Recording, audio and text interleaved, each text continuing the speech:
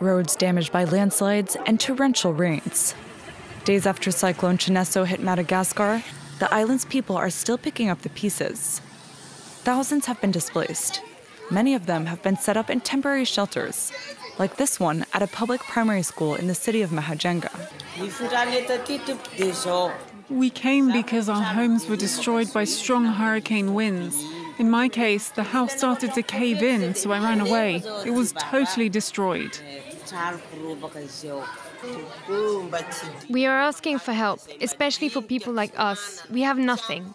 We don't have enough work to support ourselves, and many of us are single mothers. Many of us are sick or elderly. The shelter started taking people in on Sunday, several days after the cyclone made landfall. It's now weakened, but it's still wreaking havoc. On the other side of the island, several inhabitants said poor infrastructure was to blame.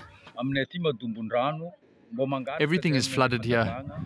We have asked the state to improve the draining of floodwater so that in case of rain it can flow away. Right now, we're living in misery. The water should flow into the sea, but there is no drainage, especially in the irrigation canals below. They are blocked, and as a result, the water enters our homes. The country is no stranger to inclement weather.